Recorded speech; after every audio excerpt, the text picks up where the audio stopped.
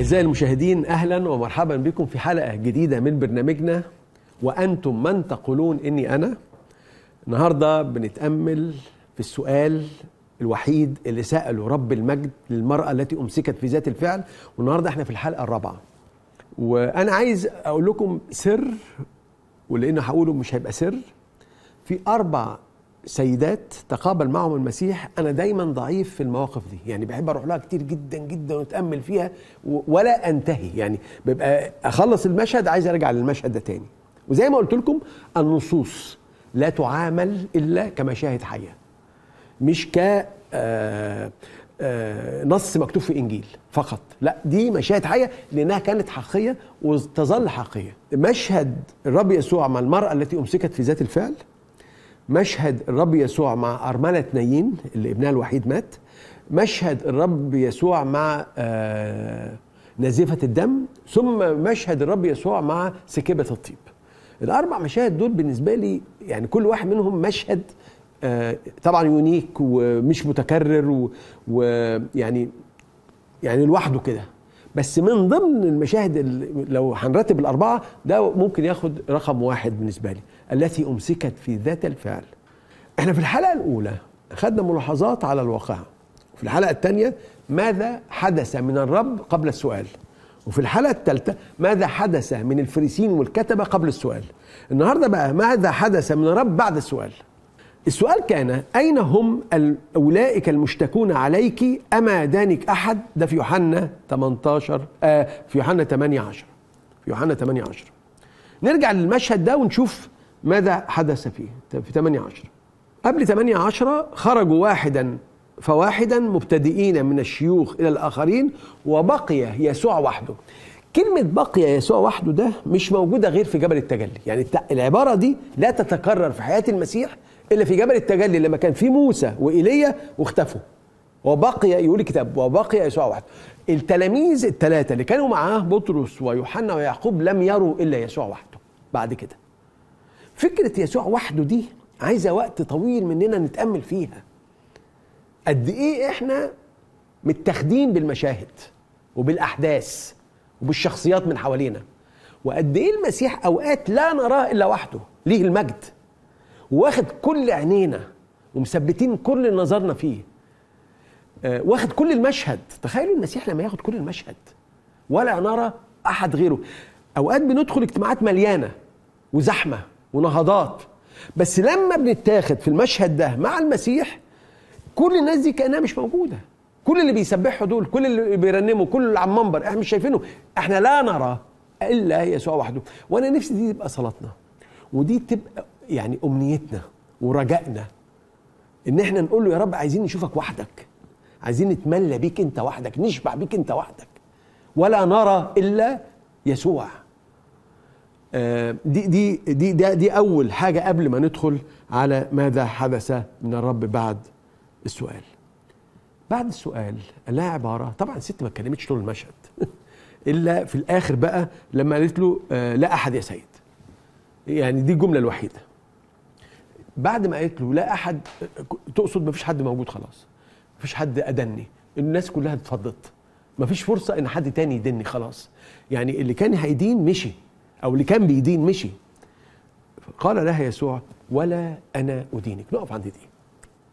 الوحيد ركزوا معايا الوحيد اللي كان من حقه ياخد حجر ويرميها بيها هو يسوع.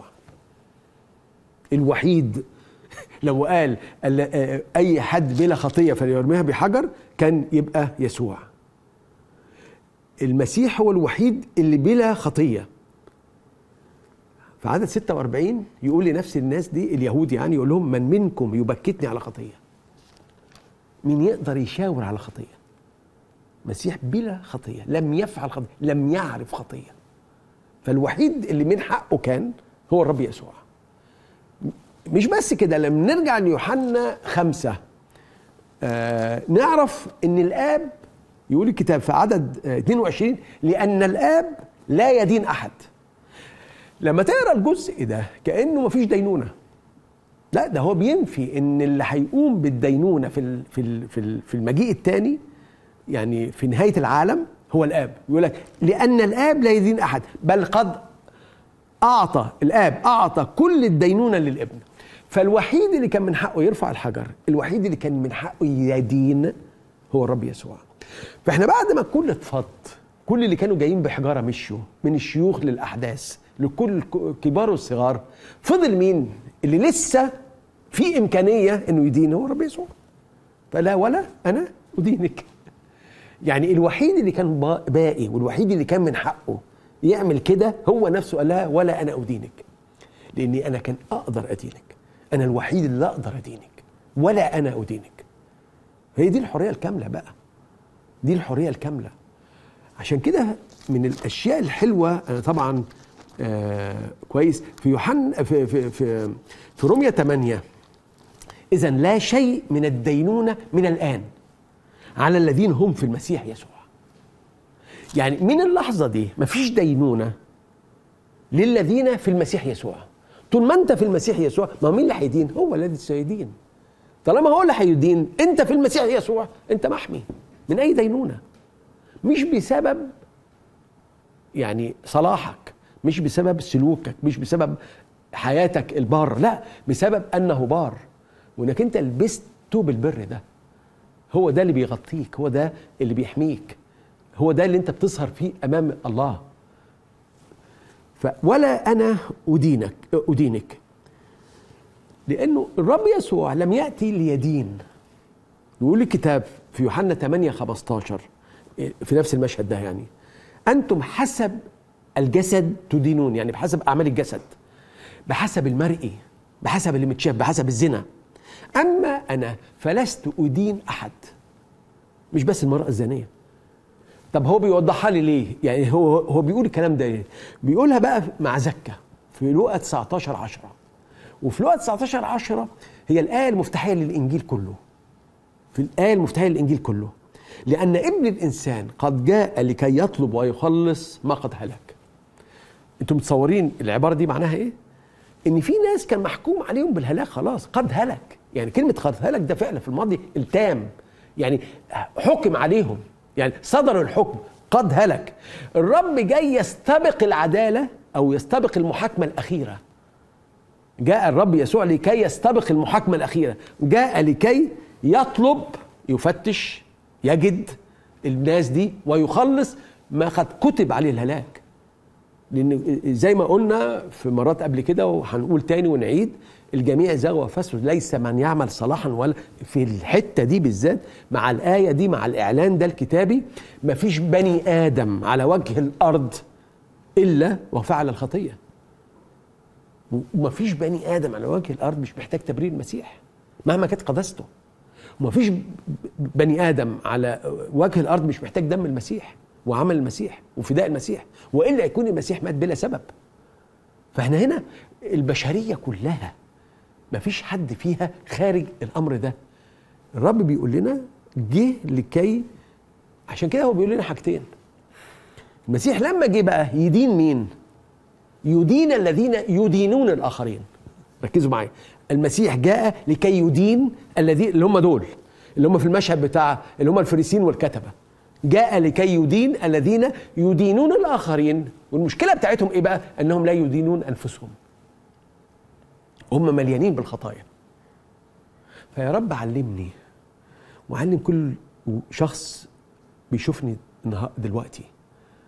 كيف لا ندين الآخرين؟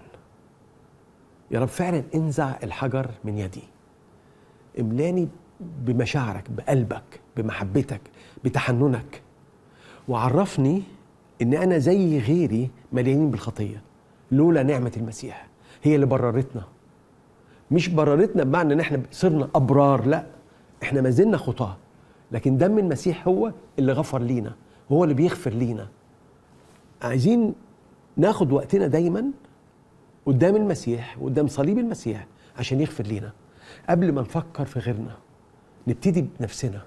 نبتدي بحياتنا نبتدي بواقعنا بخطايانا بضعفاتنا ونقول له يا رب انظر لعبدك وأمتك وتحنن.